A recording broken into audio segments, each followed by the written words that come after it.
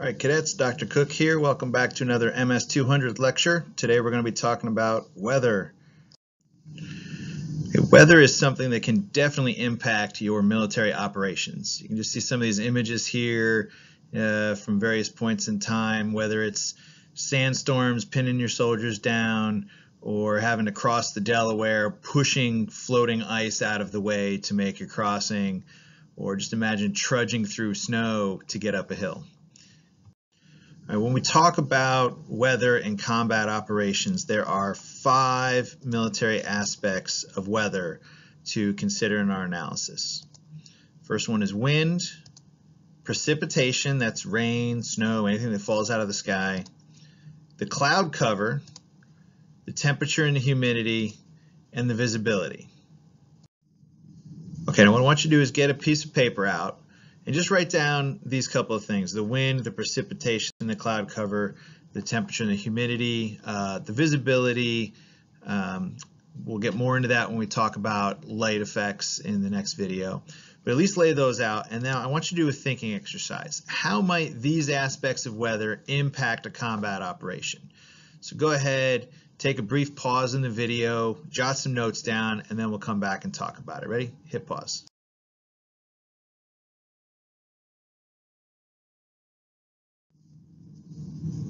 Okay, back with your notes. Good.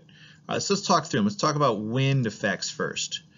Um, you know, with enough speed, the wind can kick up dust and smoke, and that can uh, really create visibility problems for you. Create breathing problems. It can affect your fields of fire if you can't see anything. Um, high winds are going to shut down air traffic in the area, so you won't be able to get rotary wing, or you won't be able to get fixed wing uh, close air support could impact your drones. That can happen very easily. Um, how close it is to the ground, where the wind layers are. So wind is actually different if we go high enough up into the atmosphere. And that can affect some of the aircraft and maybe not you on the ground. As you come back down, uh, that can start blowing up things like dust. Um, it can impact your points of aim if it's uh, high enough velocity wind. Um, can also affect stability on vehicles. If you've got some of these higher mounted vehicles like an Expando van for a TOC, uh, it's a wheeled vehicle we pop the sides out on, they're pretty high centered. Um, you know, the wind can really make those things rock and potentially blow them over. Uh, radio antennas can be a problem and that then impacts your comm platforms.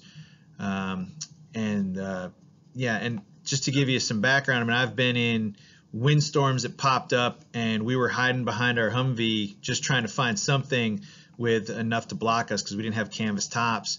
And uh, it actually started pushing the Humvee not in the direction the wheels were rolling but against the wheels. In uh, kind of we were behind the door and it was pushing it away you know towards us. Um, I've also seen sandstorms that popped up and just took out an entire uh, fob kind of area. Not not don't think fobs like Iraq that have been there for five years. Think something we went in and set up the day before um, just destroyed uh, about six MKTs, mobile kitchen trailers, uh, destroyed all the food, and our cooks had a hard time, you know, but they, they fought through it, set all those trailers back up enough to get the stoves working, grabbed new food, and got chow out to the soldiers. But it was a big problem uh, that we had to go through with that. All right, precipitation is the next one. So what can that do to your operation? All right, we're talking about rain, snow, hail, sleet, freezing rain that comes in. All right, other than just get your wet weather gear, please don't use that as your what's my so what on the weather, right? You should always have your wet weather gear.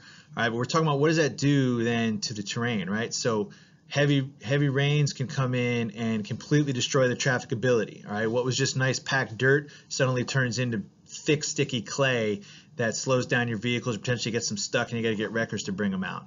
All right. Same thing if we put in a large layer of snow. Just imagine trying to walk through that. Look at the picture here about the football game. You know, does that have an impact on play? Yes. All right. If you're out there trying to maneuver through the battlefield and you're trudging through ankle deep snow, or even worse, that could be a problem. All right. It also throws off your visibility. Things start to fog up on you while you're out in the colder weather. Right. Or even if it's just raining, it could be hot out but the humidity from the precipitation is is throwing off um, things on you. You're getting water drops all over your optics. Um, logistics routes, it's a huge suck on morale if you're out there in uh, the bad weather. Um, intermittent streams, they might be dry when you come through uh, and it hasn't rained in a while. And then the, when the rains come, those things can overflow.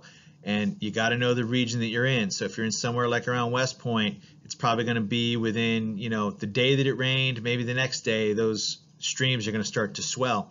But if you get out into some of the desert areas or places where you've got large mountains with large valleys, you know, that's that those are huge catch basins. It can take a while for even small amounts of rain to filter down from the mountains. And sometimes you could have rain not even on you, but it comes down on the mountains that are close by to you and about 3 or 4 days later where it was completely dry, you know, wadis, dried riverbeds before can completely swell up enough to move Bradley tanks out of the way um, you know, rushing streams and, and, raging rapids all of a sudden that weren't there before. So that happens. You got to be aware of what's going on with the precipitation situation. All right, cloud cover. All right, that can limit your ability to use illumination. Right, whether you're popping flares or you're calling in indirect fire uh, illume rounds. Uh, if there's cloud cover in a way, those illume might be on the other side of the cloud and they're not doing you much good. Um, it can also impact then just to straighten the illumination from the moon. So you look at your light weather data, which we'll talk about, and that says you're supposed to have 100% illume, the moon is full, and then there's just big, huge black clouds that come in, and you don't have the advantage of that moonlight to help you out. Uh, during the daytime, you kind of get the same thing. It changes the way the shadows function and how much visibility you have from light if you're bringing in lots of cloud cover. Um, can greatly affect the signatures that come off of targets.